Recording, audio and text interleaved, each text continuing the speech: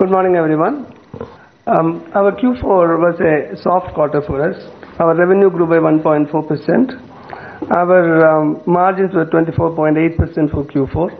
Our EPS uh, was um, $0.78 for the quarter.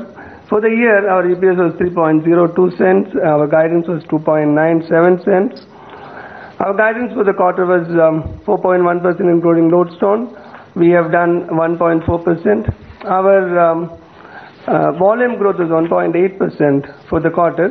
We had a pricing decline of 0.7%, as well as a cross-currency impact of 0.4%. So if you negate that, I think our numbers would be actually somewhere between 2.5%-2.8%. We have given a guidance for um, 6%-10% for next year, which means that it is a 0.5% growth at the lower end and a 2% growth quarter-on-quarter at the upper end.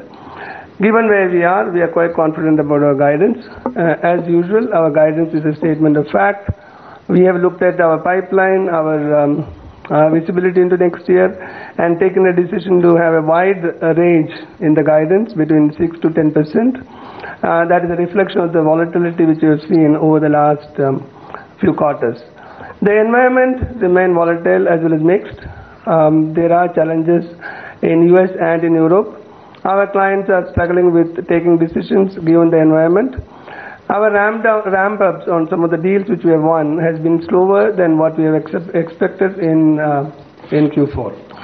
Our client additions in Q4 has been very good. We have added 56 new clients in Q4. Our total number of million-dollar clients have gone up to 448 this quarter.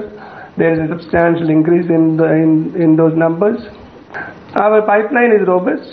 Um, Our win rates have remained stable. When I look at the future, I see that from a growth perspective, the environment will be volatile and challenging. The pricing um, continues to be under pressure because of the focus on cost by our clients. Our pipeline remains robust, and our win rates remains stable. Thank you. Uh, if you look at the margins, um, you know, we have done uh, reasonably well this quarter on the margins. Um, you know, we had guided for a 26% uh, operating margin for the full year, and we are ending at about 25.8% in spite of this being a soft quarter for us. If you look at for the quarter, in spite of having absorbed the wage increases that we have given at the select on-site locations and the additional Lodestone charge, I think we have done very well on the margin front. On the EPS side, we have exceeded the guidance that we had set out for uh, at $0.73 was the guidance for Q4. Our actual uh, EPS is about $0.78. This is primarily because of uh, you know reversal on uh, on tax because of the R&D tax credit that we got, and also because of some Forex gain. But I think without that also, we have met $0.73 as a guidance. So I think the world is very volatile right now. The environment is very volatile, and um, it it you know and also considering that you know we have had growth challenge in the in the previous couple of quarters. I think uh, we have set out for ourselves in terms of giving a guidance which we believe is achievable. Uh, as Shibu said, it is about 0.5% sequential growth for next four quarters for our lower end and 2% sequential growth for the next four quarters for the upper end. Considering that uh, we need to make a lot of investments as we go along, and also the kind of volatility that we are seeing in the in the, in the marketplace, we have discontinued the practice of giving EPS guidance. Thank you. Thank you, Shibu. Thank you, Rajeev. We have a few questions from investor analysts. Time permitting, we will take as many of them as we can. The first question comes from Govind Agarwal of JM Financial, and Sandeep Shah from CIMB also has the same question. Shibu, what led to major miss to the fourth quarter fiscal year 2013 guidance? So if you look at it, actually, our yearly guidance, we have reset it to at least 5% for the year. During Q3, we have said that we have challenges. Um, the environment continues to be challenging. In Q3, we had um, volume increase as well as a pricing increase. Volume went up by 1.5%. The pricing went up by 1.8% in Q3. In Q4, it turned out to be a softer quarter than what we expected. Uh, uh, our volume went up by um, 1.8% in Q4. At the same time, we had an impact of 0.7% because of the pricing decline, as well as an impact of 0.4% because of the cross-currency movements. And that both impacted uh, Q4. The deal ramp-ups in Q4 were softer than what we expected. While we have won a lot of large deals over the last last half, for example, our total TCV win uh, over the last two quarters stands at $960 million.